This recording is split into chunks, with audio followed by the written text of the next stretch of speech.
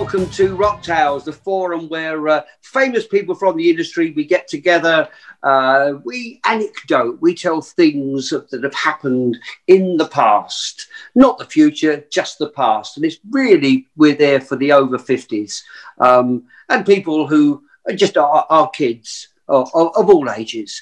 Uh, may I pass you over now to, to our, our host, uh, the, the venerable Mr. Nick Carpenter. Venerable, wow! Well, consider yourself past, everybody. Uh, hello there. Yeah, Rock Tales here on Manic TV. Uh, industry friends and colleagues uh, are here. They join us here to share scurrilous stories. Uh, and today we have another transatlantic edition with our three guests joining us from the good old US of A. As I always say when we introduce these things, rather than industry veterans, uh, these days record labels would uh, politely call them heritage artists, I uh, so, gents, we're after your very best anecdotes. Um, uh, so, Steve, would you like to uh, introduce uh, the guys? Indeed, uh, from left to right, in no in in order of age. Can, can, we go? First of all, the incredibly old but youthful-looking Mr. Ali Score, drummer with a flock of seagulls, now residing in Florida. And Ali, it's a little bit hot there, is it? Hi there, first of all. But yeah, it's it's hot here. It's Florida, so I expect it to be hot, and I want it to be hot. So, uh, but I'm glad to be with these esteemed colleagues. You you mad fool! Uh, talking of steamed, Nigel Dick, you steamed quite a bit. Tell us where you are in the jolly old USA. I am in Golden, Colorado. Uh, very sunny and hot today, but very dry rather than soggy and damp where uh, Al is in Florida.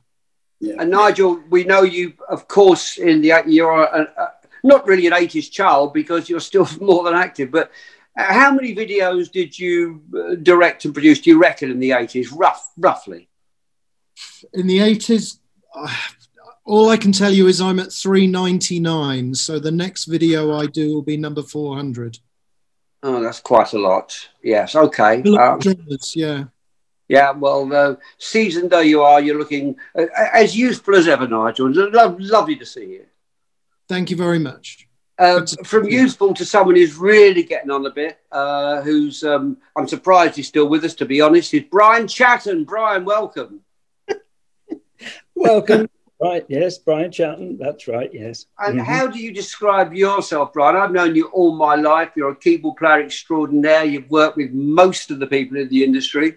Um, what, what are you? A composer, a decomposer, a, a keyboard player? What are you? Uh, a permanent pain in the ass, according to all the ladies over here. Uh, oh, no, did I say that? I didn't say that, did I? Anyway, uh, I, I, just wrote my autobiography so I could add author to uh, boogery expert, uh, musician, uh, songwriter. Probably is is where I've uh, really made my thirty six dollars. but you know, I play cheese boards. You know that. That's my yeah. love. Yeah. Well, well done, Brian. And so very nice to have you all stateside. Um, Nick Carpenter. So over to you for that that that trembly first question, Nick.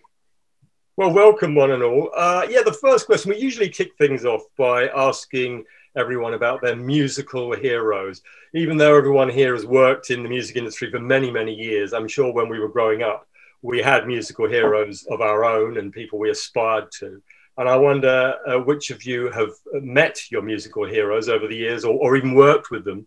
And if you did, did they meet your expectations? Did they live up to, uh, to how you thought they would be? I don't know who wants to kick off with this one. Hmm. I can. I can. Um, Ali, Al.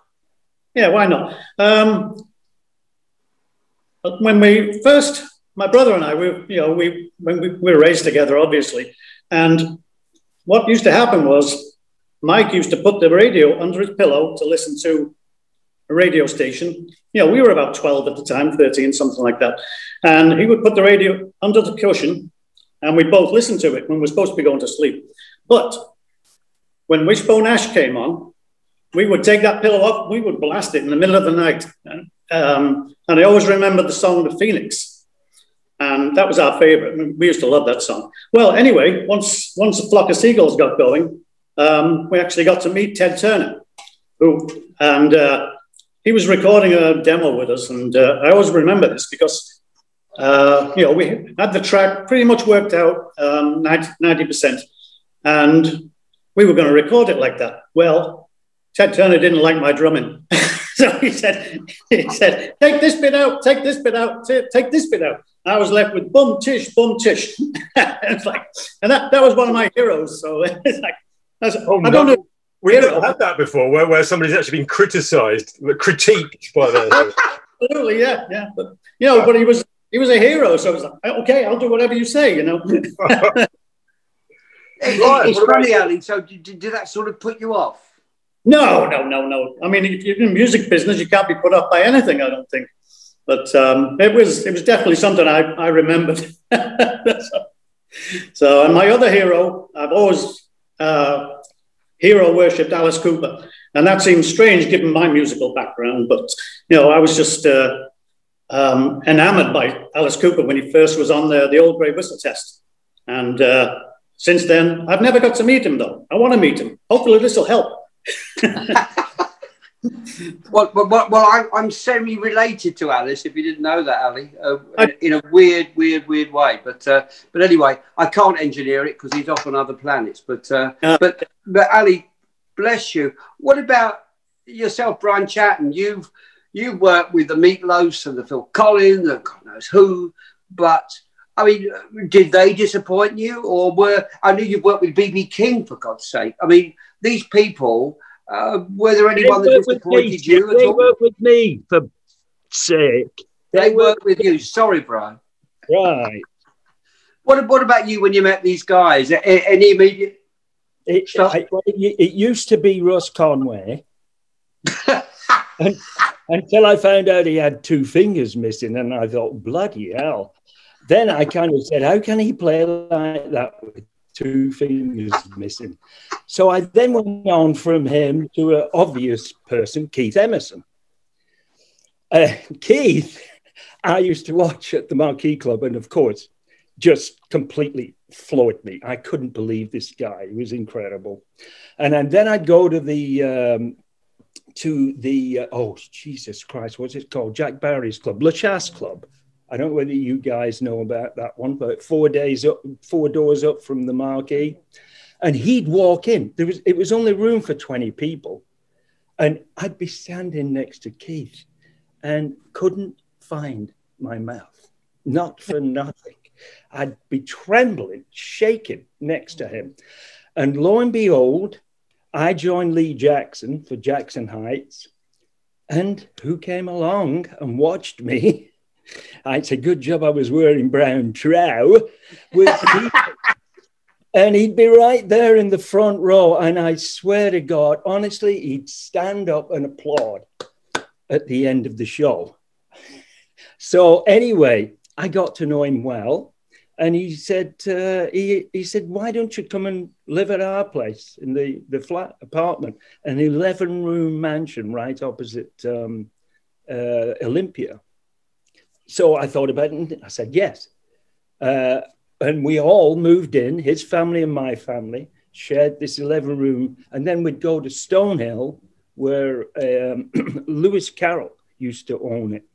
And he, he bought it. And it, it, it's said to be the most beautiful uh, house in the British Isles. But I, I can see it because it's like a Hansel and Gretel cottage. You could like break a bit up had some wonderful times there. A lot of people would show up, you know, uh, Daltrey and um, Alvin Lee was a, a big, uh, he'd come and we'd be clay pigeon shooting.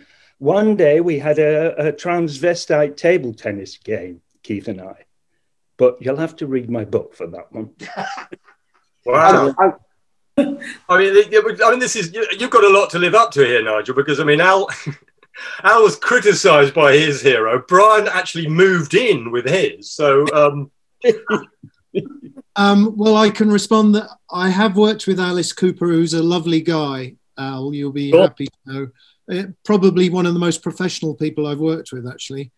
Um, and um, I once had my picture taken with Alvin Lee from 10 years after, but the, um, I've been very lucky and worked with many of my heroes. But the first big hero I got to work with was before I started directing, was with Robert Plant. And uh, I was still producing at the time for my director. And we went over to have a meeting with Robert in this very shishi hotel round the back of Shepherd's Bush. Um, and uh, I was completely in awe of meeting the Golden God, who was who was very pleasant. We talked about what was going to happen in the video that we were going to make, and blah blah blah. And I'm just sitting in the corner quietly taking notes. And then he said, uh, as the meeting finished, it was like six o'clock in the evening. He says, um, "Where are you guys going now?" And we were all going back to Camden Town. And he said, "Could you give me a lift?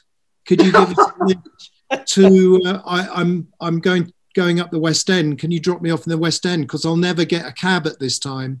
And we all looked at each other because there was three of us. My boss Robbo, who was a director, the art director Simon from Stiff, who was also a drummer in his spare time. So we were in his van, which had no seats in the back. It only had one seat, which was the driver's seat. And we all looked at each other rather nervously and we're going, this is a man who's not only used to flying around first class in fabulous jets, but had his own private jet for flying around America. And we've got an old transit van with no, with nothing in the back. There's no seats. So we said, well, uh, you know, we all ummed and erred and said, the problem is the van has no seats. And he stood up and he said, and he put his hands on his hips and he says, Guys, I was in a band in Birmingham and I drove to London and back every other night in the back of a transit with a bunch of Marshall amps. You think I've never done this before? Let's go. So we climbed in the back of the transit and there he was sliding around the back as we went round Shepherd's Bush roundabout. And um, I've never forgotten it. I just thought it was a great example of somebody who'd had tremendous success and enormous wealth and you know, without being too ridiculous about it, was just one of the lads. And yeah. uh, I, I was in, incredibly impressed and have met some people since who had a tenth of his success and had 15 times the ego. And it was a great lesson. That's a lovely story.